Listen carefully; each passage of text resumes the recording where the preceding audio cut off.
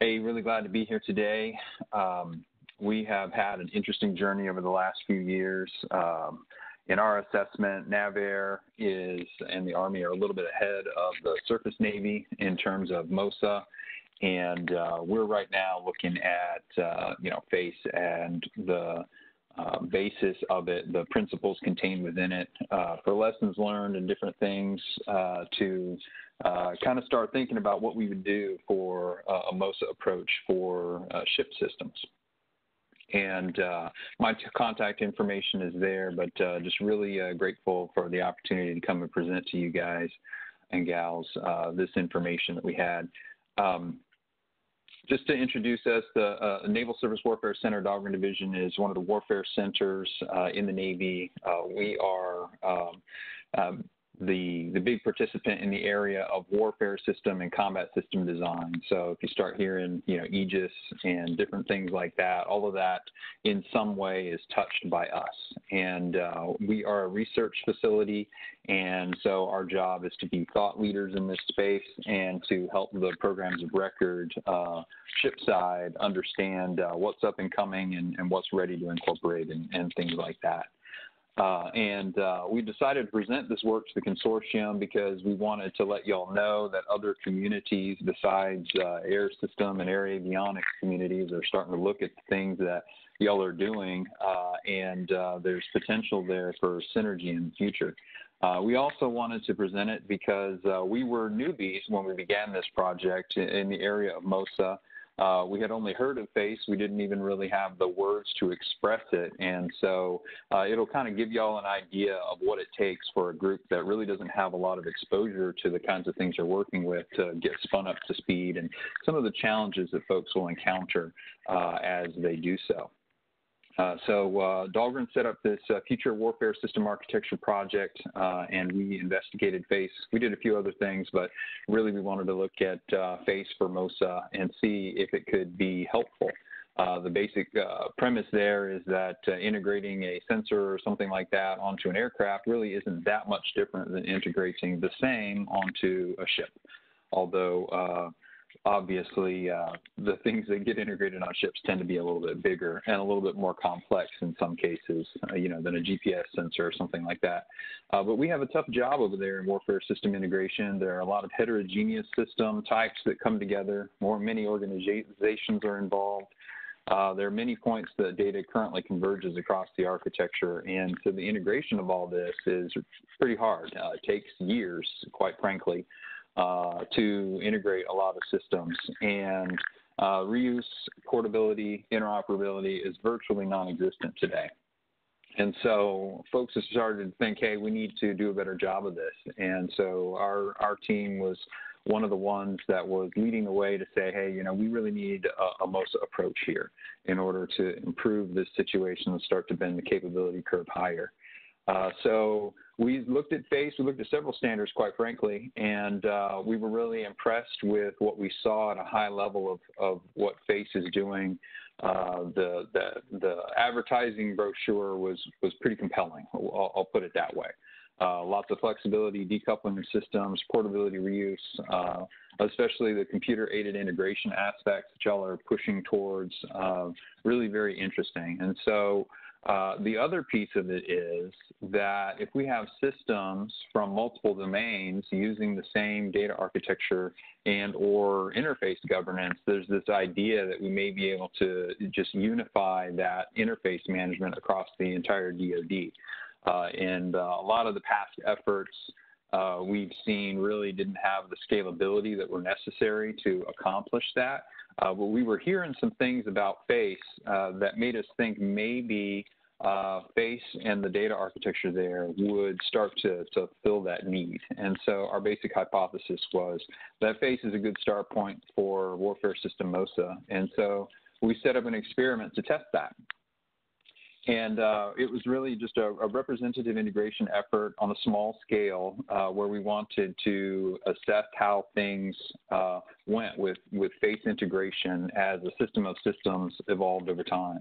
And so we focused on the area of sensor and track picture integration. Um, the team that was working this were extremely experienced integrators in a legacy thought process paradigm. So, kind of the old way we've done integration.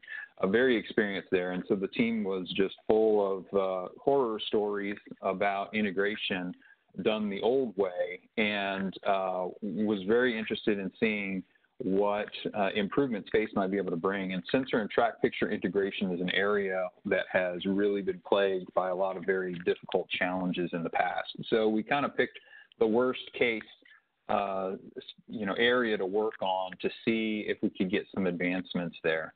Uh, and so we really wanted to investigate can we integrate legacy systems that are not originally built to talk to one another without code change?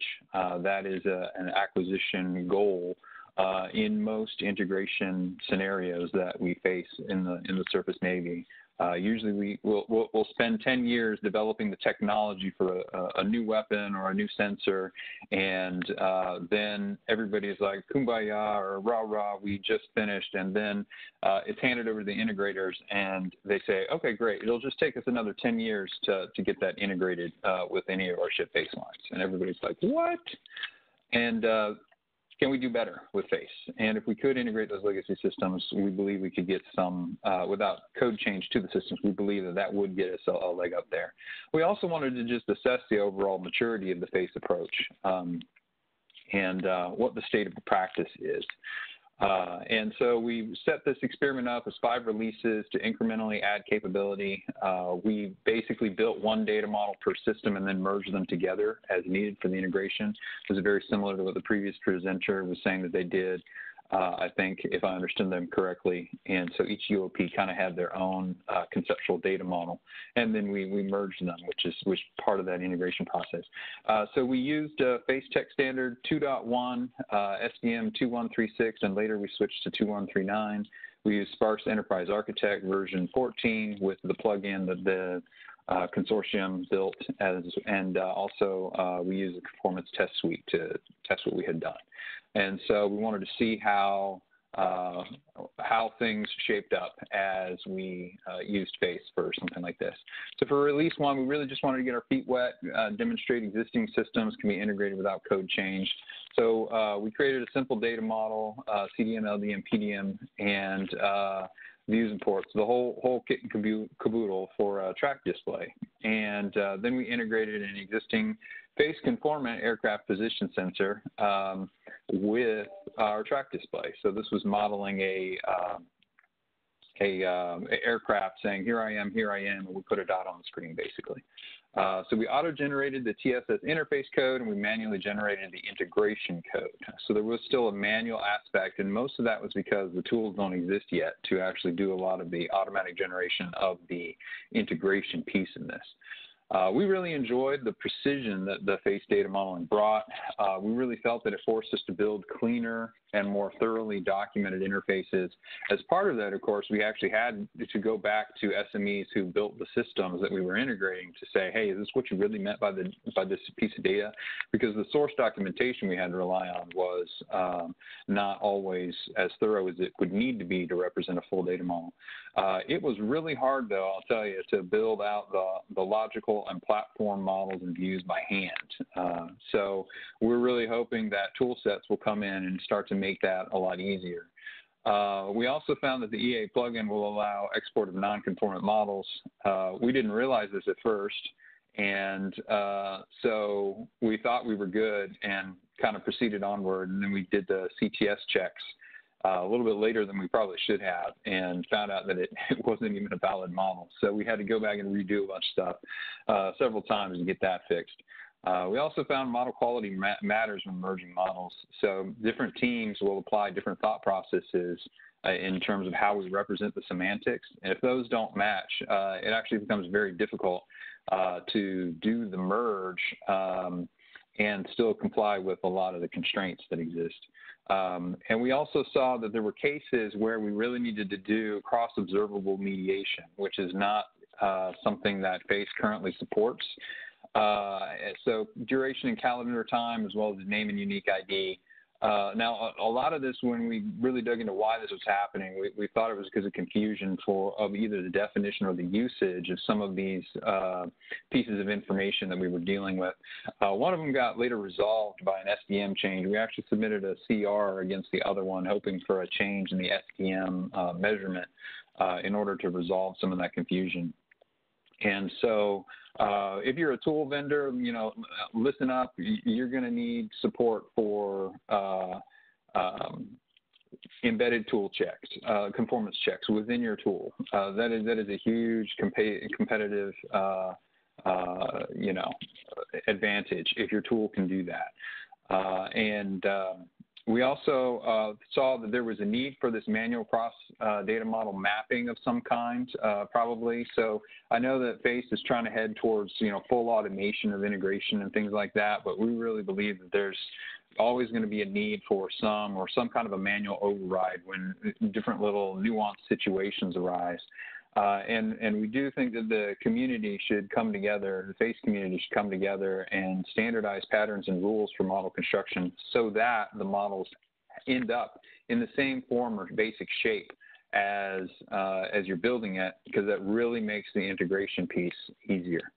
Uh, so for release two, then again, we're modeling kind of system of systems as it expands and grows over time. We wanted to expand both the width and the depth of the integration. So we incorporated a ship-mounted battle space sensor and then we uh, expanded uh, the UOP definition of what our track is because now we had a source that could actually provide better information for tracks.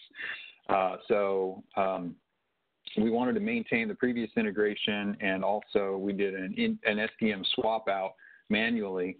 Uh, that was interesting uh, to, to understand, you know, as you're upgrading from SDM versions, what, what's it going to take, and you know, what are the impacts as these things uh, shift and change? The data models themselves shift and change over time, uh, and um, we were also incorporating some information from interfaces that we didn't end up integrating because they were uh, interesting challenges uh, in the area of uh, semantics. Uh, so we found some tough interfaces just to represent and play with and ask, hey, can we represent these semantics in the form of a semantic uh, data model?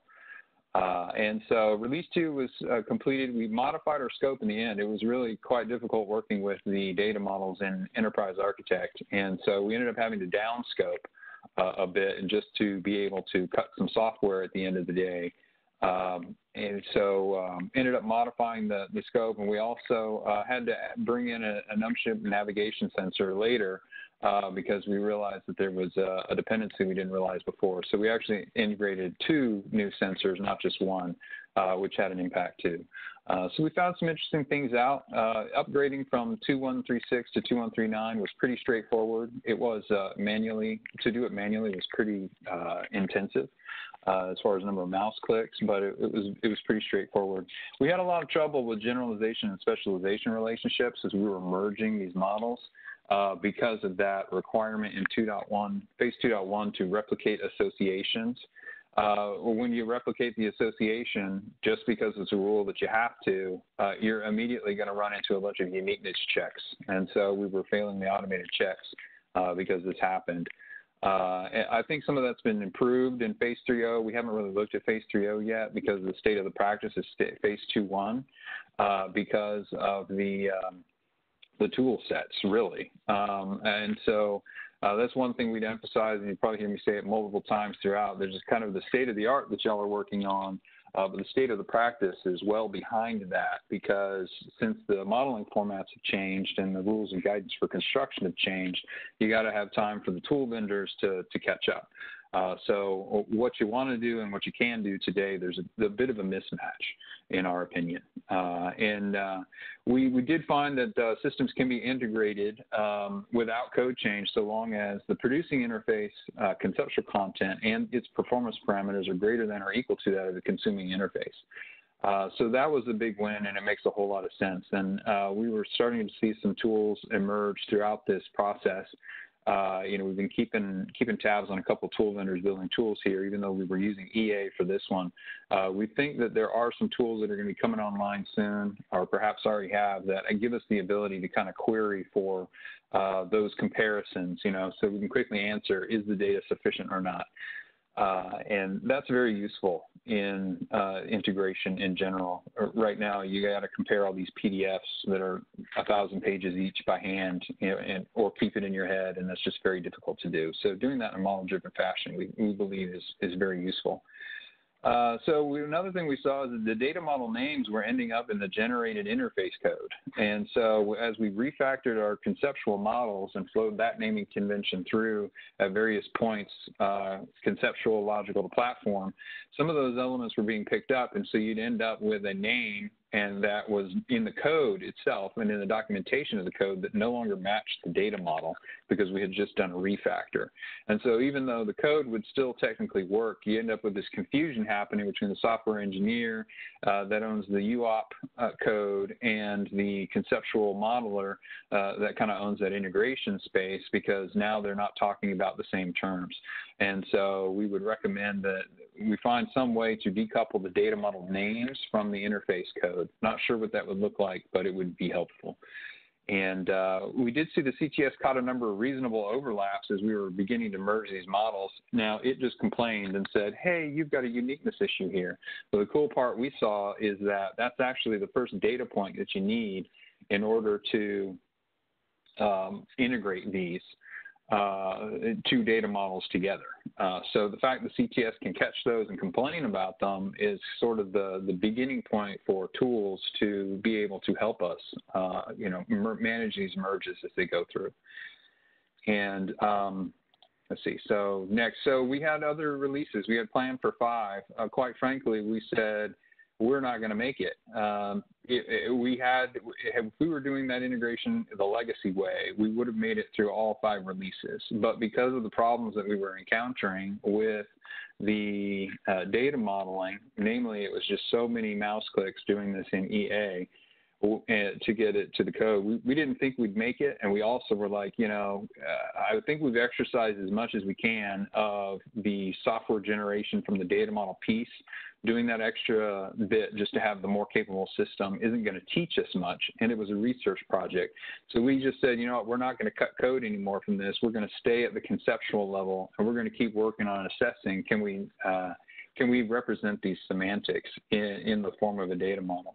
Uh, so we had through that process, we had some questions arise about how to model certain complex semantics. Uh, there's still a debate going on uh, within the FACE community about how that takes place. And so uh, we're interested in seeing how some of those things shake out. It seems like in a few cases we, we sacrificed uh, human readability for machine readability. Uh, we really need both, though, because it's humans that are building the data models and humans that are writing the code that gets cut from, uh, or writing code to match the interface for the UOP that gets cut from the data models. So we really need to make sure that we balance human readability with uh, machine readability as we're doing this. Uh, there were certain patterns that we were using that we'd actually uh, heard uh, consortium members uh, using that were failing uniqueness checks. I believe this has been fixed now. There was a CR. I, I can't recall the exact details of it, uh, but I believe this has been been fixed now. Uh, but it was an interesting data point because we saw that you know the, there's just a lot of discussion. This is kind of an emerging art here about how to build and use these data models.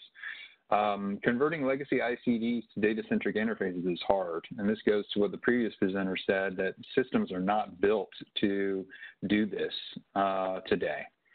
And so I see I'm running out of time. I'm going to skip through a little bit more of this. Um, basically, need better data modeling guidance uh, kind of throughout. So in a nutshell here, my summary is we really like FACE. It shows a lot of promise. Uh, we recognize now that this is an emerging practice surrounding the, the kind of the state of art, the art here.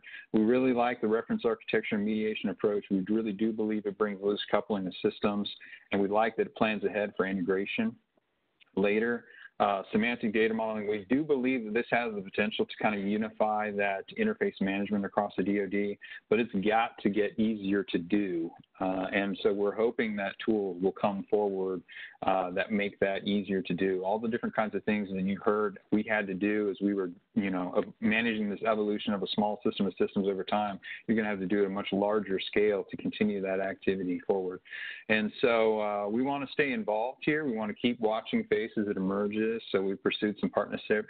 Partnerships. We, we set up a cooperative research and development agreement, for example, with Skayl to get their our hands on their tool for free and kind of watch how things are uh, evolving. Um, that was a special favor they kind of did to us, uh, did for us rather. And uh, we're also interested in efforts to build out some of the key reusable components of these data models. So uh, you know, we could uh, set up an experiment. If you're a tool vendor or if you're somebody that's uh, interested in expanding this or seeing the expansion to other domains besides air systems, we could set up a little experiment to assess things and at the end of the day, hopefully have some reusable components that we could perhaps uh, stick back in the SDM or, or have because uh, there is a big upfront cost of building the data models. A lot of that has been tackled already in the air domain, uh, but there were a lot of measurements and different things like that that uh, we needed to build that were specific to kind of the language that ships speak. Uh, and uh, so uh, adoption of it at this point is would be a little bit costly, and there would be some long lead items that we need to work through. So little experiments like that can maybe bite away at that a little bit uh, as we kind of look at this moving forward. So that's all I got.